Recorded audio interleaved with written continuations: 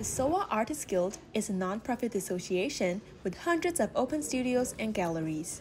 Danny Caruso, an artist who joined the guild three months before the pandemic, witnessed the studios from crowded to deserted. So much of showing your work is having people come through and you know discussing it and you know just having that um, interaction with people who appreciate art is something that I miss during the pandemic.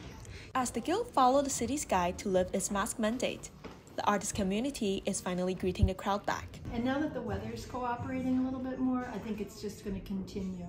Um, and we'll see more and more people come around. I've had three different sets of eyes. At Danny's studio, people often walk up to her and start a conversation. I thought it was really cool to have conversations about where the inspiration came from. Um, to kind of also see kind of what um, inspires the Boston art scene as well. One of her works that received enthusiastic responses is sculptures called the Underwear series. Just about people not seeing one another, not understanding what someone else's walk in life has been.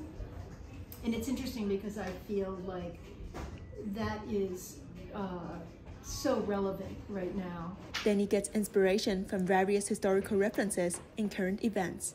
It's definitely about the human condition and um, our humanity and what connects us and what makes us all the same and what makes us different. SoWa Artist Studio is located at South End, opening every Sunday from 11 a.m. to 4 p.m.